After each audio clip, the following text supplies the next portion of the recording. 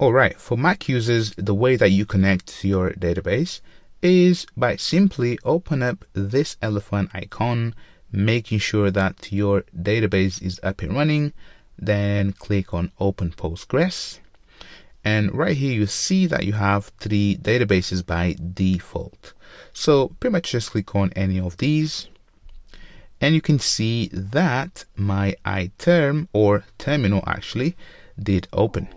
And if I make this bigger, so right here you can see that we are inside of this database mode. So this was the actual command that was invoked.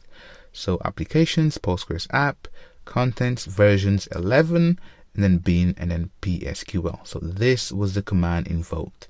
And then minus P for the port 5432, minus D, and then this stands for database Postgres. So if I open up the elephant and then open up open Postgres. So you see that Postgres is the actual database. And if I go to server settings, you see that it's running on port 5432. Now I'm going to come out of that and then close this.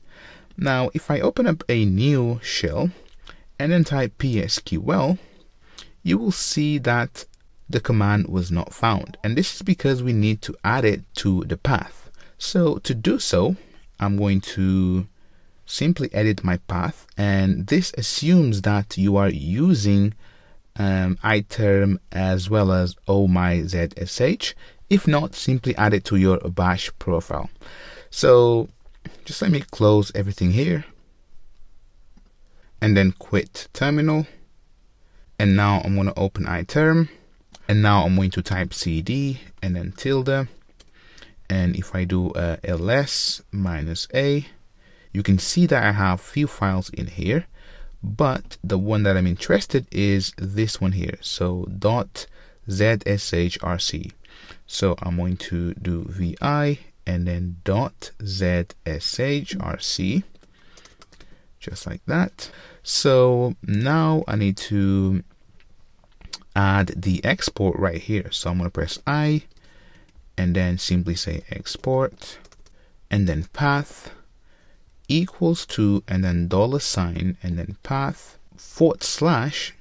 And if I go back to open Postgres and then open it again so you see that I'm after this path right here. So I'm to grab all of that command C and then go back and then this should be column and then forward slash and then paste that in. And we don't need the actual PSQL. So just let me add a space right there and then remove that. And then to escape out of that, simply press escape and then column WQ. There we go.